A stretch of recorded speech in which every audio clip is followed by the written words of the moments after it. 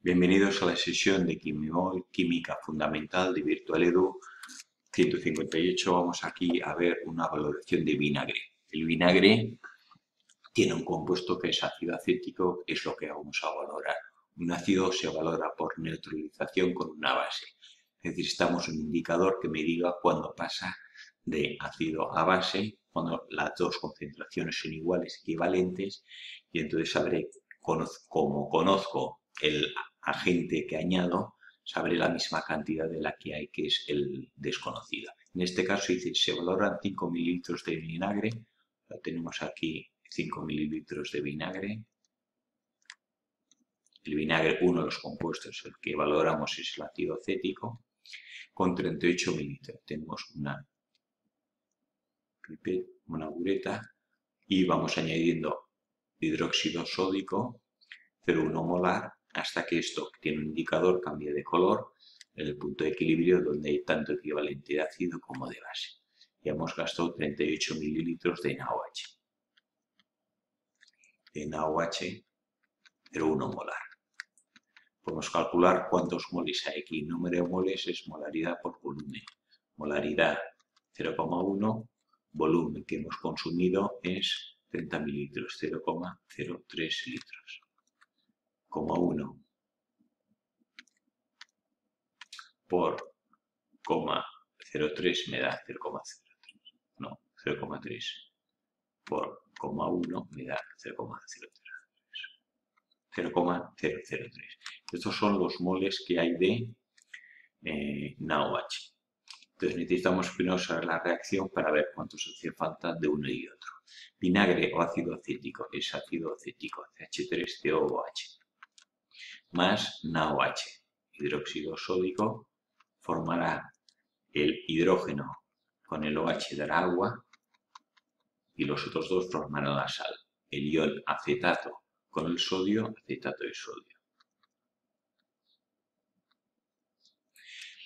Aquí, como esto da un hidrógeno y esto un OH, la equivalencia es 1 a 1. Necesito tantos moles de hidróxido sódico como de ácido acético. Si he gastado 0,03 moles de NaOH, quiere decir que hay 0,003 moles también de ácido acético.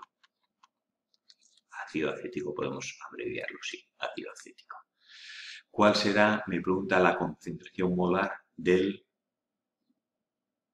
No, del, vinagre me dice el porcentaje tengo que calcular. Aquí tengo los moles en 5 mililitros. Entonces vamos a calcular. Tenemos aquí la reacción, hemos dicho que ácido acético más NaOH da acetato de sodio más agua. Y de aquí tengo las concentraciones, son 0,003. 003 de de ácido acético. Estos son los moles que tengo de este, los moles que tengo de este, y al reaccionar no quedará nada de esto y se, me habrá formado el agua. Pues tengo que pasar a estos 0,03 moles a porcentaje. Porcentaje es peso, masa en gramos, masa de ácido acético partido por la masa en gramos de disolución. Gramos de ácido acético que hay en 100 gramos de disolución, porcentaje. Masa de soluto partido por 100 gramos de disolución. La densidad del vinagre 1,01 miligramos mililitro.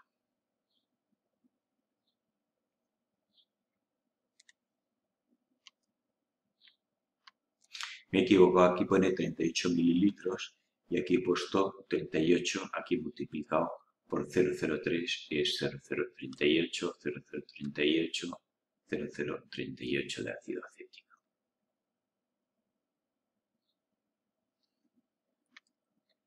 Entonces aquí el 8 y el 8. 38 mililitros por 0,1, 0,0038. Vamos a calcular entonces. Yo tengo 38 mililitros que he gastado de NaOH 0,1 molar. Esto, los mililitros, yo sé que tengo un 0,1 mol la concentración en 1000 mililitros. Ahora estoy poniendo este dato de aquí. Pasando los mililitros de NaOH a moles de NaOH, que ya lo hemos calculado aquí antes. Otro factor de conversión. Yo sé que la reacción es un mol de ácido acético por cada mol de NaOH. O sea, la equivalencia es 1 a 1, no haría falta multiplicar por nada. Y luego tengo en gramos el 60 gramos de ácido acético pesa es un mol de ácido. Podemos calcular el peso del ácido acético CH3, CO o H. Tengo dos carbonos, 12 por 2, más oxígeno 16 por 2, más 4. Y esto me da 60 gramos. Ahora ya tengo mililitros con mililitros, moles de NaOH con moles de NaOH, moles de acético con moles de acético y paso los mililitros de NaOH a gramos de ácido acético. Me da 0,228 gramos de ácido acético. Entonces, ahora me falta el porcentaje masa en gramos disoluto por 100 gramos de disolución. Yo tengo aquí 0,228 gramos de ácido acético y sé que un mililitro de disolución, la densidad del vinagre, un mililitro de solución contiene 1,01 gramos. Y estos gramos son de disolución. Ahora tengo gramos de ácido acético más absoluto en gramos por gramos de disolución. Y esto tenía que multiplicarlo por 100, porque es un porcentaje. Entonces, gramos de acético por gramos de disolución por 100 me da el porcentaje. Y esto me da... Pero aquí tengo 0,28 gramos de ácido acético en 5 mililitros como en un mililitro hay un 0,01 gramos de disolución, ahora aquí sí que me quedarían mililitros con mililitros, gramos de ácido acético por gramos de disolución por el 100%. Y esto me da que este vinagre tiene un 4,5% de ácido acético. Quiere decir que de 100 gramos de, de vinagre hay 4,5 gramos de ácido acético.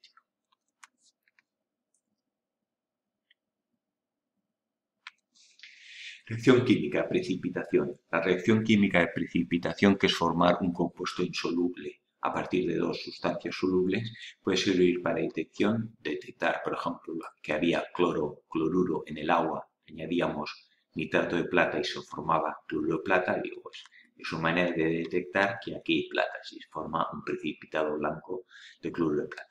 También sirve la reacción de precipitación para eliminar una sustancia que no nos interesa. Vamos a quitar esta sustancia, pues la precipito, luego filtro y desaparece. El ditionito de sodio, que es el tiosulfato, S2 o 4, 2 menos, tiosulfato. Agente reductor. El medio básico reduce al ion cromato, CR42 menos, a hidróxido de cromo, CrOH3 sólido, verde grisáceo. Este precipitado luego lo podemos filtrar y eliminar. Entonces, el ion cromato que tenemos la disolución, lo quiero eliminar, formo un compuesto insoluble, lo filtro y ya desaparece. Eh, entonces tenemos aquí la reacción del tiosulfato de sodio, el ion cromato y el medio básico. Medio básico, alguien proporciona hidróxidos y forma el sulfato, sulfito, esto SO3 es sulfito, y el hidróxido de cromo 3 que vemos aquí que... Entonces vamos a ver la reacción, el cromato 4 por 2, 8, 2, 8 menos. El cromato tiene que ser 6 más, porque 6 más y 8 menos da que toda la molécula tiene valencia 2 menos. El cromato es 6 más. Y aquí el cromato, en cambio, vemos que el hidróxido es menos 1, pasa aquí, y esto es cromo 3 más. El cromo 6 a 3 se ha reducido de 6 ha pasado a 3, se ha reducido.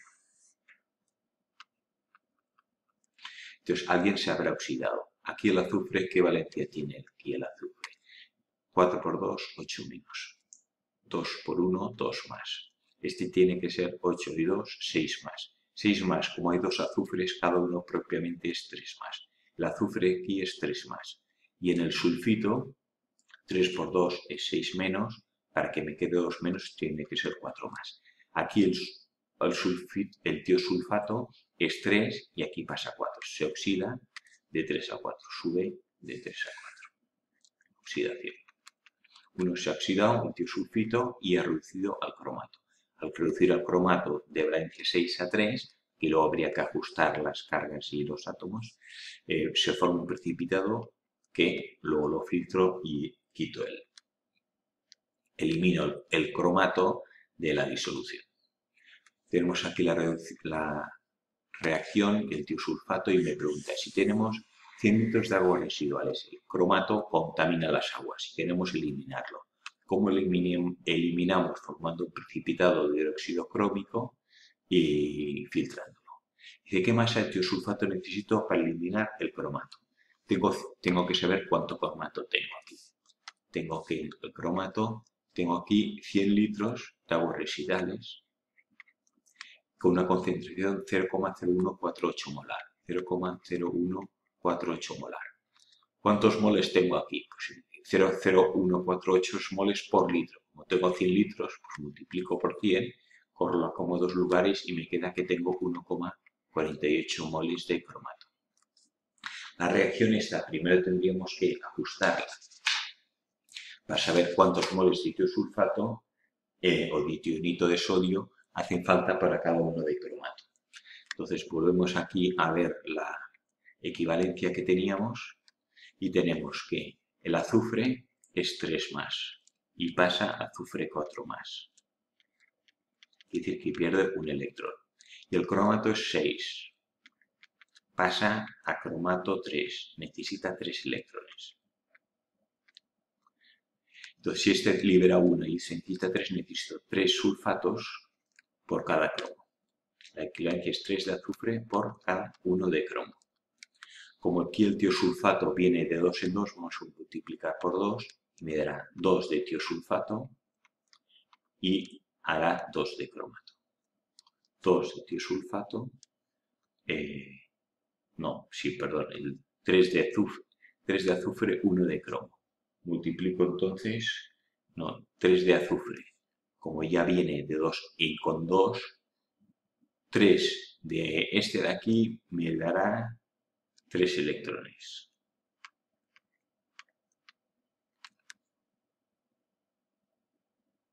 Cada uno un electrón, como hay 2, vamos a hacerlo mejor, pero podemos poner aquí que si tengo aquí 2 2 S3 más, que es lo que tengo, me dará 2 electrones.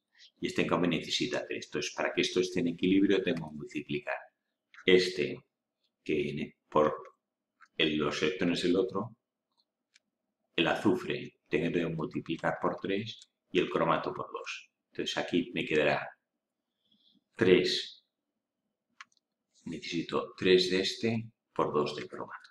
Vamos a comprobarlo aquí el azufre 3, S2. Cada S2 pierde un electrón. Pues me queda 3 por cada S2 un electrón, son 6 electrones. Y el cromato, cada uno gana 3, necesita, no pierde, entonces aquí 2 de cromo por 3 electrones da 6 electrones. Está balanceado. Los 6 electrones pierde uno, lo gana otro. La equivalencia es 3 a 2. Por lo tanto, aquí podríamos acabar de ajustar el resto. Aquí tengo 6 azufres, aquí tendré 6 sulfitos. Esto es sulfito, 3 por 2, 4, 6 menos. Y este es el azufre, este tiene el 4 más, sulfito. Y entonces, ya tenemos 1,48 moles de cromato. ¿Cuántos necesito? Pues venga, los 1,48 moles de cromato por la equivalencia es 2 moles de cromato por cada 3 de tiosulfato. Entonces esto me queda 1 por 3 medios y me queda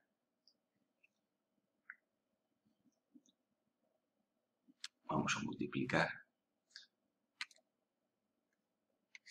1,48 por 3 igual entre 2. Esto me da 1,48 por 3. 1,48 por 3 por 3 por 3 Vaya, esto falla. Me da 2,22. Bueno, tengo hecho aparte. Esto da 2,22.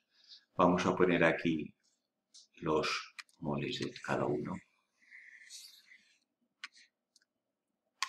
Aquí tengo de este 1,48.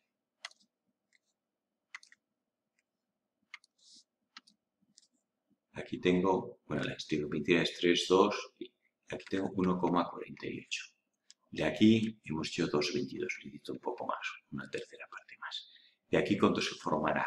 Pues 3, 2,22, esto es el doble, serán 4,44. Y el cromato aquí, si hay dos CRs, aquí tendré también dos cromatos, dos de cromo. Si aquí hay dos, y aquí hay dos, serán los mismos moles. 1,48 dará 1,48. Estos son los moles de sustancia que se necesitan. Lo, único que me preguntaba es cuánto ditionato de sodio necesito en gramos. Esto es un... Entonces, tengo que multiplicar por el peso molecular, moles por peso molecular me da 2 gramos. 174 gramos el mol. Multiplico 22 por 174 y me da 387 gramos. Esta es la cantidad de tiosulfato o ditonato de sodio que de añadir a, esta, a estas aguas para eliminar el cromato. 160. pH de una disolución de hidróxido de bario octahidratado. Hidróxido de bario, la molécula tiene 8 de aguas. Dice si la masa es 1,15 gramos de esta sustancia en 275 mililitros de disolución.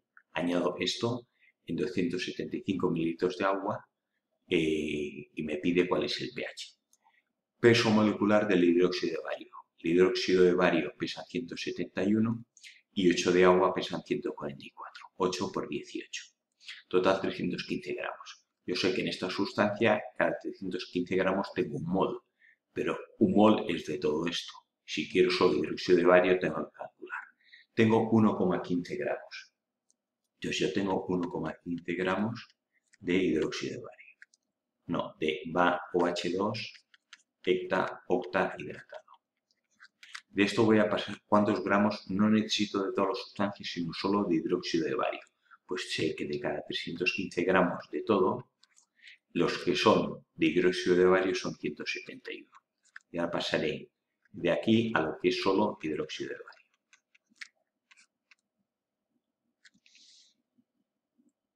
Y esto me da 0,6243 gramos de hidróxido de bario.